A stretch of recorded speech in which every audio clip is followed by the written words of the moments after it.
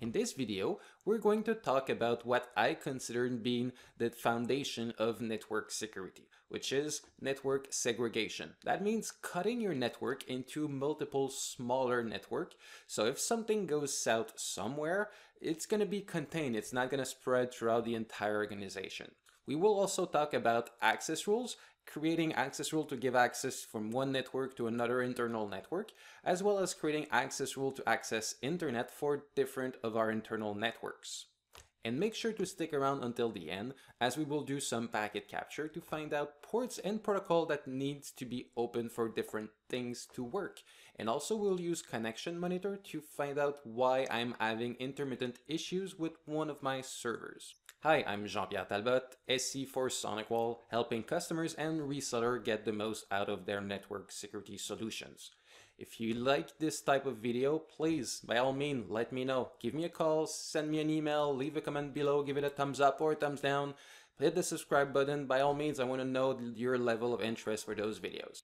At the very high level, all companies are the same. Every company have HR, finance, sales, customer facing stuff like a phone system, a web server. They do have manufacturing, whatever they're making videos or spoons or whatever it may be. And way too many time, I see customer having one big flat network. Everything and everyone is on the same network. So think about it. If engineering is doing their job, they're looking for things and doing R&D, testing out, developing things, it could happen that eventually they may get hit by a ransomware, for instance. So what happened? Everything goes down, right?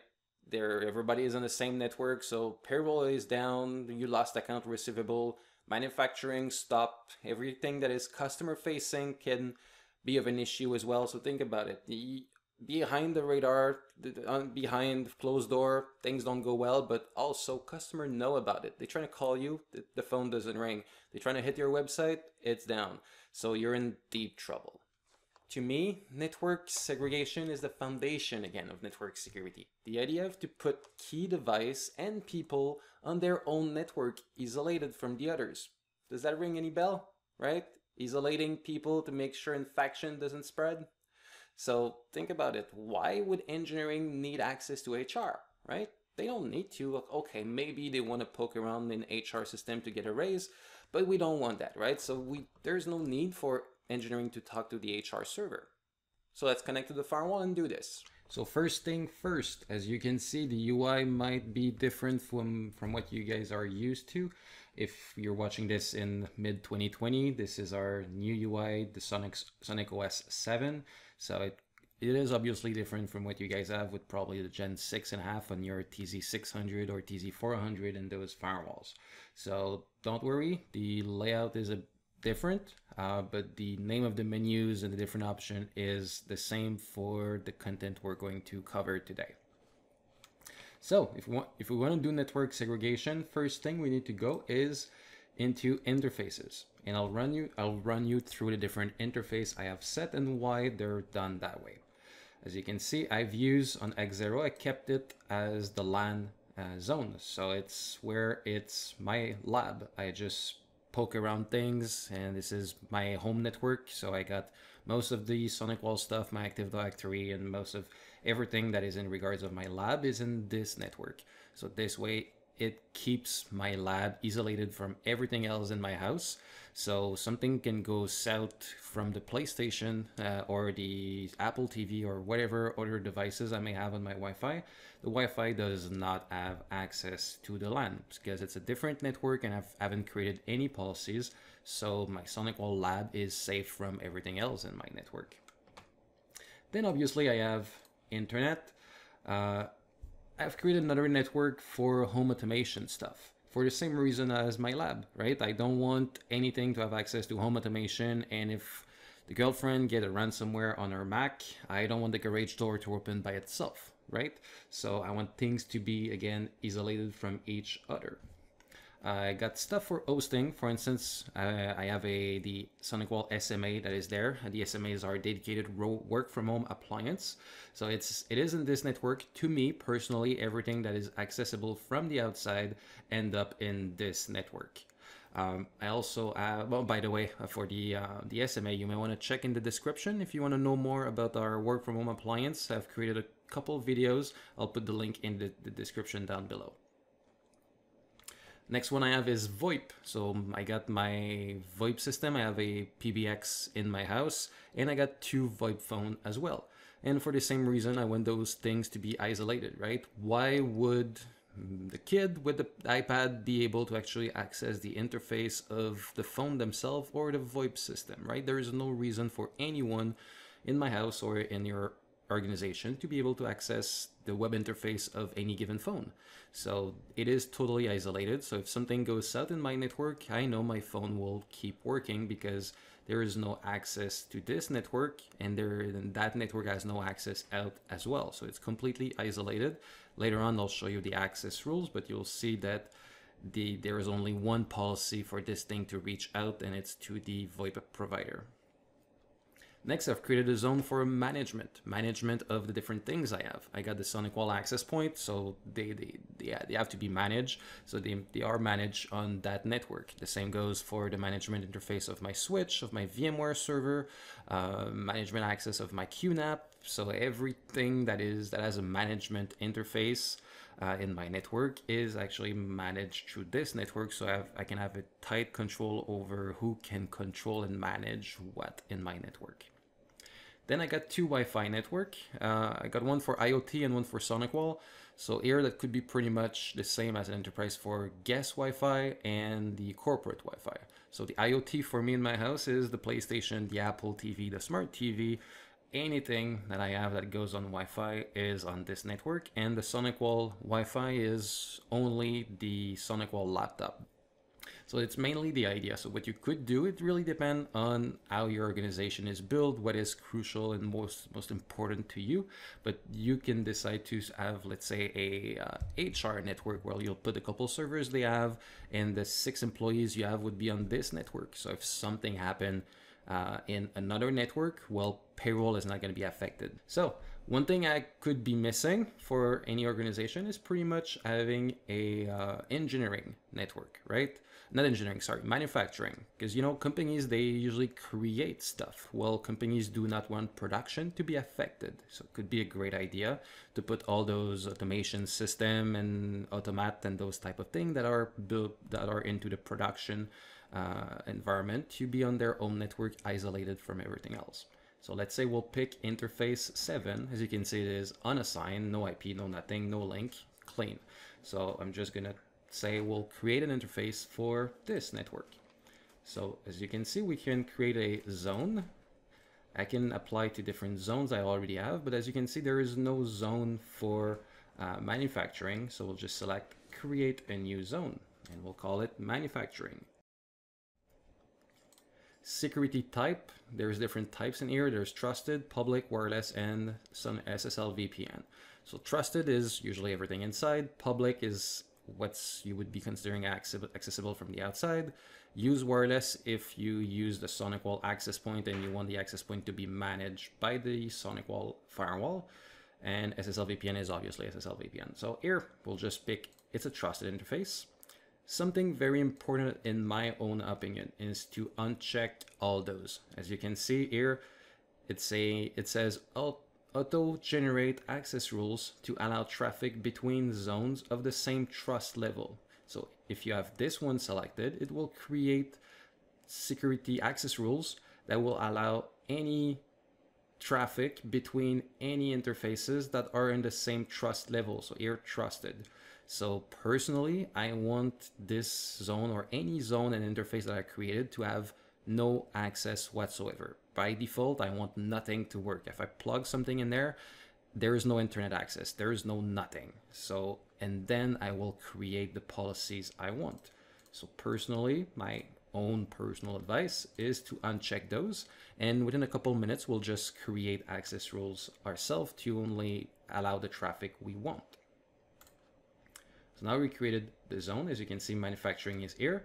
Next is to give it an IP. We'll just go, um, we'll put this, uh, we'll just pick this here. And then we can decide, do I want the firewall to be manageable from this interface. So maybe you want, maybe you don't, really depend. Uh, we can just turn it on. Something with the device to enable is ping, right? It's always nice for troubleshooting to be able to ping the firewall and see if you got network connectivity to your default gateway. You get more stuff in the advanced like link speed, shut down the port, and other things like this, which we're gonna we're not gonna cover today. So I'm gonna click OK on this. And as you can see, I do have my interface number seven configured for manufacturing.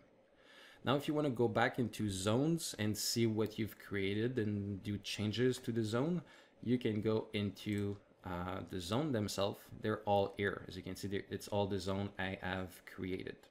So we can go, you can review the zones and make sure that, okay, my VoIP zone, I'll edit this thing and make sure that everything is unchecked, right? So you can decide uh, which one you want to be checked or not.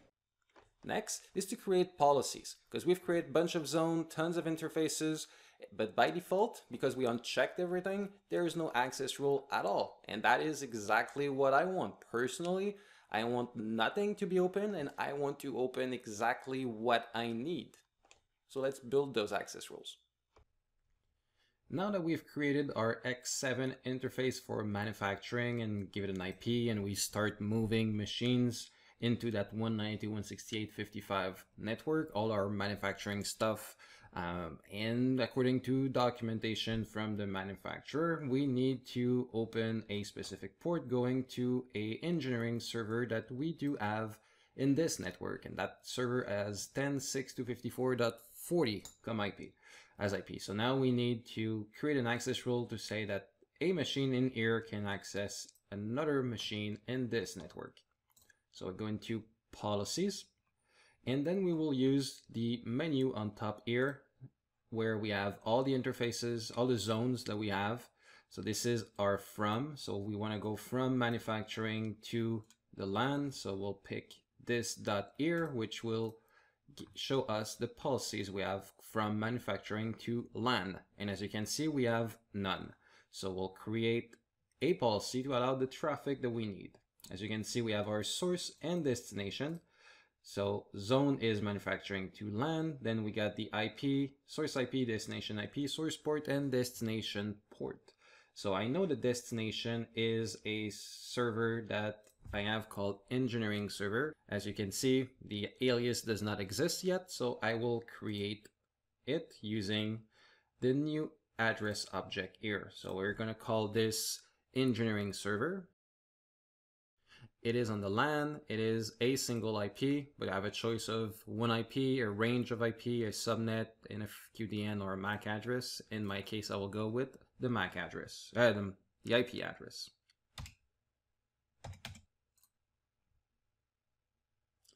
And my source IP is the manufacturing machine. And to save us some time, I already have created the alias. So manufacturing machine here. And next is to create the port that we need. So we'll just go here and create the engineering port that we need. So we'll create the service object, call it, then calling it engineering port. According to documentation, it is TCP port 8521 that this specific system needs. So I'm going to open this port. So as you can see here, just to recap, we do have my source and destination. So it's going from the manufacturing zone to the LAN, from the manufacturing machine to the server on the port that this thing needs. And, usually by default, the source port is always random for a lot of protocols. So I'm gonna keep it as is with the any here. So, and we hit save.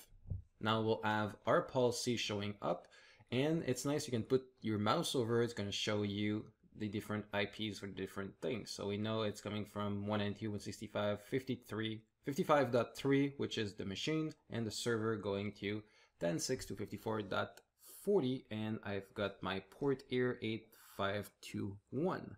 So now we've created one policy to allow one thing to work. So now if you do have more things that needs to be open, now is the time to do it. And again, using this to go from one zone to another zone. Next, we have a VoIP server, and let's just pretend I have absolutely no clue of what ports needs to be open outbound. So we'll use Packet Monitor and find out. So here is the issue you have. You have a VoIP server, it's an open source thing, you're new in the company, there is no documentation whatsoever on this VoIP server, and you see a policy like this saying anything in the VoIP zone, any IP, can go anywhere outside on any port and any protocol. And of course everything works, because nothing is blocked. So in terms of security, it's far from being the best. So you want to know what ports are open, but again, you have no documentation, and it's not like you could just delete this policy and now try, start to troubleshoot and try to find ports as you get logs of denied packet, right? So what we will do is to use packet monitor and find out what ports are needed for this thing to work. So we go into monitoring, packet monitor. We go into general monitor filter, IP that are TCP or UDP, and you put the source and you put the IP address of the VoIP server. So you'll need to find that one out. Uh, but you put the you, you, you tell the firewall I want to see every single packet that have this IP as the source, which is of course your VoIP server. So you click on save, then you click on start packet capture. And what I'll do to make sure we track everything, I'm gonna reboot my VoIP server. And of course, it's not the type of thing I would advise to do during business hour, but outside business hour, reboot the VoIP server or any server you have. So you make sure that maybe at boot up, it needs to connect to 12 different things. So that's for me a way to track those things. Okay, now as you can see, I do have a fair amount of line items that show up showing at the beginning some DNS requests. Port 53, of course, is DNS. This thing need also NTP, Network Time Protocol. Course, it's always good also to review what what are those communication that the server is at attempting, right? Maybe there's already a virus or something bad going on. So use judgment when you start opening policies to make sure that what is going on is something that actually makes sense, right? If you open port DNS to an IP address, well, might be a good idea to check with NS lookup to make sure that this is actually a real DNS server. This IP going on port 4569. And this IP as well. So this seems to be everything that my server, my VoIP server actually here needs to actually get to work. So let's go ahead and create policies to allow only those specific ports and IPs to be open. So again, from my VoIP to my WAN, we do have this policy here that allows everything outbound without any sort of security or filtering. So we will go here and now create different policies. So the source will be my VoIP server which I already have an alias for. I have done, like I mentioned, some research about the DNS IP I see here, the one that ends with 129, and see if you put your mouse over, I know that this is already something I've set in my firewall as Bell DNS servers, so that makes sense. This is expected to be open. And of course, we just open DNS. So click save on this. Next, we need to open NTP. And I don't think I've created all those aliases for NTP, so we're gonna go into object and actually create them. First thing I could do is actually search to make sure to check if I don't already have this IP. So that one doesn't exist. Put the other IP in the search. That doesn't exist either. And that one doesn't exist. So we're going to go and add, call it NTP1.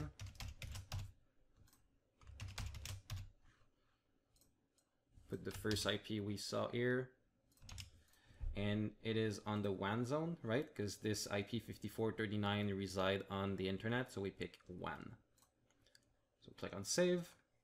Nice feature that I like. This thing stays open, so I can just change for NTP2 update the IP address, no need to change the zone, no need to change the type, just update the IP, hit save, pick the third IP, call it NTP3 IP.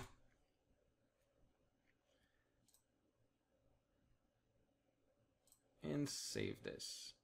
Next, I'm gonna create a group to put them all together. So I'll call it NTPs and simply find all the hosts I have for NTP and make them all member of it.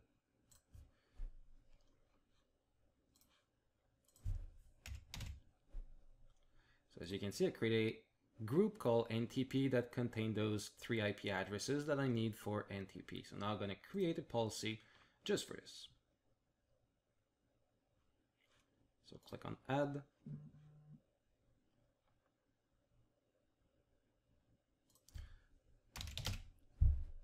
Trixbox address will be to my NTPs on NTP port and save this. And next again we will finally create the last policy I need from again my VoIP server to the VoIP providers.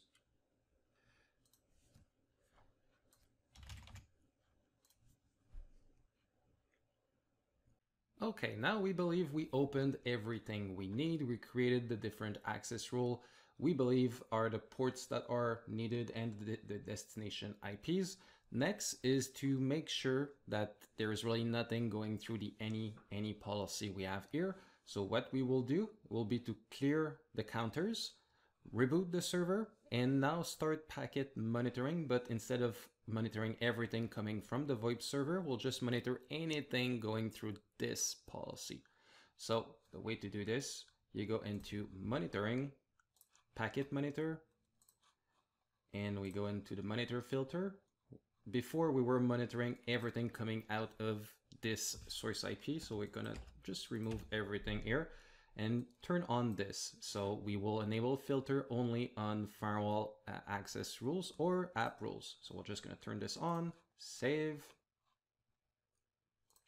We will not click start monitoring right away. We'll reboot the server, wait a couple seconds to make sure it's shutting down and rebooting, and then we'll start the, the packet monitor. So next we go into the policy itself. We find our any any policy that opens all ports and we will turn on packet monitoring. That means that every single packet going through this policy will be sent to our packet capture. Give it a couple seconds to do its shutdown. Make sure it's not generating traffic while shutting down. And we will go into our packet monitor and we'll hit start monitor. And while we're here, while waiting for this server to reboot, I will clear the counters here. So clear counter at the bottom. As you can see, everything is now back to zero. So server should be rebooted by now. So we'll click refresh to see how many times each policy got it. As you can see, the vast majority of the it have been on the rules we created, which is good, but we still have three it on the any policy. So we'll go look at our packet monitor, trying to find out what it is. As you can see, I probably have leftover like other policies that are set with packet monitor to be turned on. It's a good thing because here we can see which access rule it is. So I can go back in my firewall and disable packet monitor on rule 197. So for this video, we'll just forget about anything on 197. We can actually sort them, which will make it easier. So this is the policy we are concerned about. And as you can see, it is all NTP that is being used. So that leads me to think that probably this VoIP server is using a domain name as a DNS server and they are multiple uh, IP address answering this domain name, this FQDN.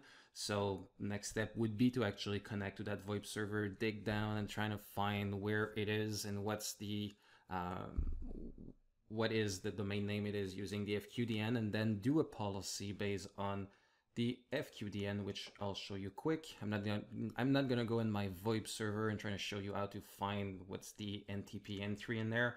which is not relevant to this video. I'll just show you how to add a policy for NTP, but that it will be actually for FQDNs instead.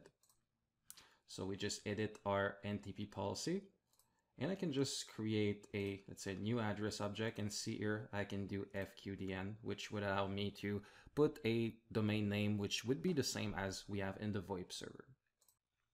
Next, I went ahead on my VoIP server and did some changes before doing this video to show you another troubleshooting tools we have, which is called Connection Monitor. The issue I created is that my VoIP server can receive calls. Sometimes it works, sometimes it doesn't. It's going back and forth. Yes, it works. So no, it doesn't. So it's getting pretty annoying. So we're going to use troubleshooting tools to find out what is the issue. And instead of fixing it on the VoIP server, like putting it back the way it was, I will just do a change on the firewall so that it fixes the issue so I don't have to go back on the VoIP server. Again, I pretend to don't know that VoIP server, I don't know how it works, I don't know what's done in there, I just want to get things to work and I do everything on the firewall. So now here we will use Packet Monitor to try to identify and track this issue down. So we go into Connection Monitor here, put IP address of the VoIP server. As we can see, we only have one connection right now, one active connection to a NTP server. So there is no outbound connection at all for VoIP, which is the issue. So what we will do is wait for this to refresh, wait for the phone to himself do a connection. See, now we do have connection for the VoIP protocol that I'm using. As you can see here, we got expiry in seconds. So it expires in 14 seconds. So I'm gonna gonna go quick on this on this portion of the video. The issue is that the firewall is timing out UDP session every 30 seconds, and the VoIP server is reinitializing the VoIP the UDP session every 50 seconds. So my phone phone is working well for 30 seconds. Inbound call works because there's an active connection outbound. But when the firewall expires a session after 30 seconds, then inbound call do not work. And that's how we can actually track it. If I hit refresh, see my connections are here. The last two, again, 40 seconds, refresh, five seconds, refresh, one second, and they're out. And then we can do the math. It, they will be out for roughly 20 seconds. So solution for this is to go back in the policy, pick my policy for that specific port that we see the connection doesn't stay open and change my UDP timeout for 60 seconds.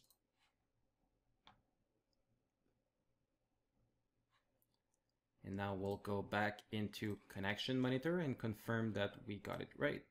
Now we see the VoIP connection is here, expiring in 59 seconds. 24, 20, 16, 11, 59. So see, my connection remain open.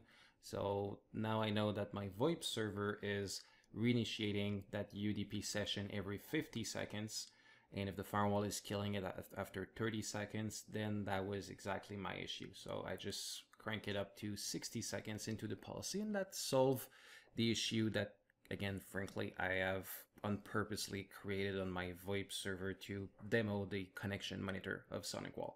So that could be a great tool to know what are the connection that you have active in which protocol they use, where they go, and so forth. So it could be useful to troubleshoot problems that sometimes are probably not even related with SonicWall. It's a great troubleshooting tools for your network in general.